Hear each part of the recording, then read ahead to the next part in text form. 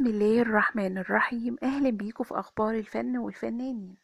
تعد الفنانة شادية واحدة من أساطير الفن في مصر والعالم العربي. إلى أن هناك الكثير من التفاصيل التي تتعلق بحياة الفنانة شادية ولا يعرف عنها العديد من الأشخاص شيء.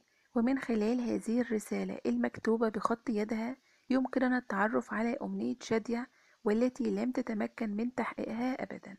وأعلنت مجلة فنية عن أمنية شادية حيث كانت تخصص إحدى المطبوعات مكانا بعنوان بخط إيدي بيكتب فيها الفنان أو الفنانة إجابته على سؤال المجلة وردت شادية على سؤال المجلة والذي كان ما هي أكبر أمنية لها لا يعرفها الناس. وهنا ردت قائلة أتمنى أن يكون عندي دستة من الأطفال عندما أبلغ سن الخمسين. يذكر أن الفنانة شادية لم يرزقها الله بأطفال من زيجتها الثلاث. فقد تزوجت لأول مرة من الفنان عماد حمدي إلى أنهم انفصلوا بعد ثلاث سنوات. ثم تزوجت المهندس عزيز فتحي ووقع الطلاق أيضا بعد ثلاث سنوات. ثم تزوجت الفنان صلاح ذو الفقار إلى أنهم انفصلوا في نهاية المطاف. جملة قالتها تحية كاريوكا تسببت في سجنها لمدة 3 شهور بعد قيام ثورة 23 يوليو. من الأمور والتفاصيل المهمة في حياة تحية كاريوكا إنها قبل اشتعال ثورة يوليو 1952 كانت تقف في مواجهة الاستعمار وبعد قيام ثورة 23 يوليو قالت جملتها الشهيرة ذهب فاروق وهيجي بعده فواريق وهي الكلمات الخمس التي تسببت في دخولها السجن بتهمة تنظيم تيار سياسي معادي للثورة. وأطلقت كاريوكا على نفسها في السجن لقب عباس وعملت أثناء فترة الحبس في محو أمية السجينات. وقد نشرت الصحف وقتها خبر يؤكد سعي الفنان الكبير حلمي رفلة لتهريب تحية كاريوكا من سجن الاستئناف. وهنا استفسر الرئيس جمال عبد الناصر عن سبب دخول تحية كاريوكا السجن. وحين علم بالتهمة الموجهة إليها أمر بالإفراج عنها فورا. وخرجت بعد مدة ثلاثة شهور. بالتزامن مع خروجها من السجن قدمت مجلة الكواكب بتاريخ 16 فبراير عام 1954 ملف مصور بعنوان تحية تعود إلى البيت صاحب فيها محرر المجلة الفنانة تحية كاريوكا بعد خروجها مباشرة من السجن ورحلتها حتى الوصول إلى بيتها. فيلم العتبة الخضراء كتب عن قصة حقيقية شارك فيها الفنان أحمد مظهر وإسماعيل ياسين وصباح وزينات صدقي وعمر الحريري. قصة العتبة الخضراء بتدور حول شخص ريفي بيقع ضحية نصاب بيقنعه بأن يشتري منه منطقة العتبة من خلال مواقف كوميدية جميلة وقامت صباح في الفيلم بالمشاركة في الغناء والتمثيل. في حوار صحفي قديم تحدث الفنان أحمد مظهر عن تلقيه درس من الفنان إسماعيل ياسين خلال مشاركته في الفيلم. قال أحمد مظهر إن خلال مشاركته في فيلم العتبة الخضراء عام 1959 مع نجم الكوميديا إسماعيل ياسين وصباح أصر أثناء توقيع العقد على أن يكون اسمه في مقدمة الأفيش. ولم يبدي الفنان إسماعيل ياسين اعتراض بل على العكس أظهر روحا طيبة ووافق على هذا الشرط. فجاء اسمه ثالثا بعد أحمد مظهر وصباح وأضاف أحمد مظهر إنه عند عرض الفيلم في دور السينما سرق إسماعيل ياسين الأضواء من جميع طاقم العمل. إسماعيل ياسين كان له حضور وخفة ظل وأداء كوميدي جعل جمهور السينما يلتف حوله وأصبح بذلك البطل الحقيقي للفيلم. كل النجاح اللي حققه الفيلم بينسب له فالجمهور كان بيذهب إلى السينما لمشاهدته هو وظهوره على الشاشة كان بيلغي تماما أي ممثل آخر إلى جواره.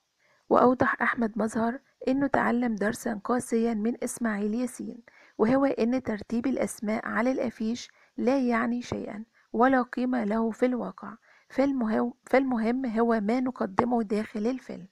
أحداث فيلم العتبة الخضراء بتتلخص في عملية نصب بيقع فيها مبروك والذي يجسده إسماعيل ياسين على يد النصاب يوسف واللي بيجسده الفنان أحمد مظهر ويقوم يوسف بخداع مبروك بامتلاك حي العتبة فيشتريه منه مبروك وينطلق مبروك بعدها لجمع الإيجار من المباني التي يؤجرها للحكومة كالمطافي واسم الشرطة ومكتب البريد وغيرها.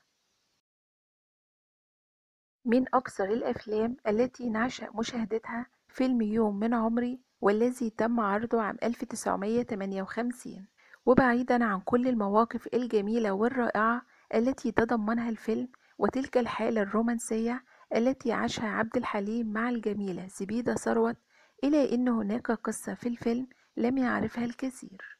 فقد كان المرشح الأول لشخصية رئيس التحرير في الفيلم والتي جسدها الفنان الكبير محمود المليجي هو الفنان حسين رياض. وقد تم ترشيحه من مخرج الفيلم عاطف سالم. حسين رياض كان عنده مطلب بسيط جدا فقد طلب التوجه قبل بدء التصوير لمؤسسة أخبار اليوم ليلتقي بالأخوين علي ومصطفى أمين. ليتعرف عن قرب كيف يتصرف وماذا يفعل رئيس التحرير في المواقف المختلفة وخاصة تلك التي تتطلب عصبية شديدة.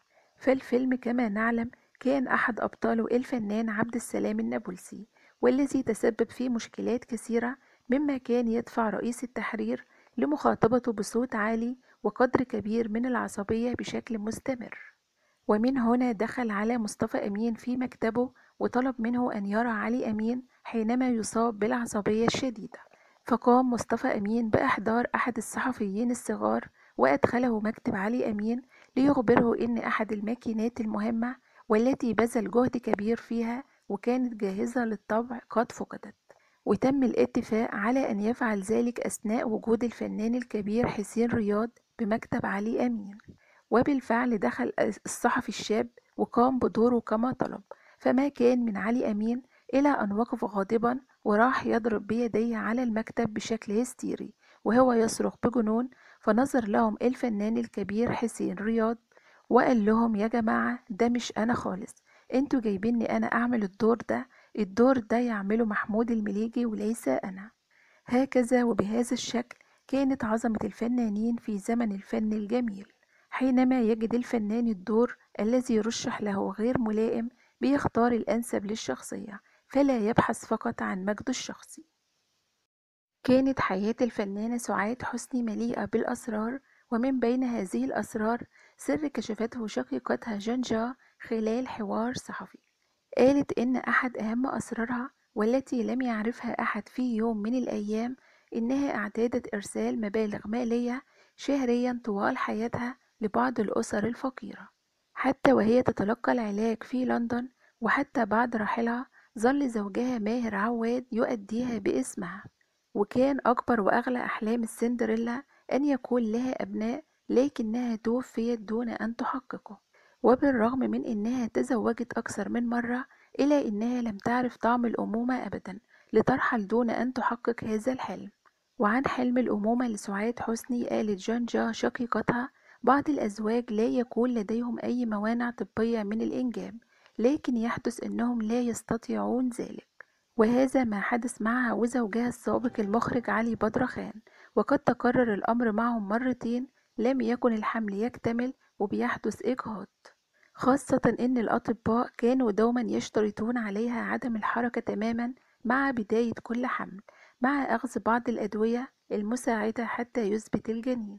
وهذا أمر لم تستطيع السندريلا تنفيذه أبدا. وحصلت الفنانة سعاد حسني على العديد من الجوائز السينمائية ونالت تكريما خاصا من الرئيس محمد أنور السادات عام 1979 وذلك ضمن الاحتفالات الخاصة بعيد الفن.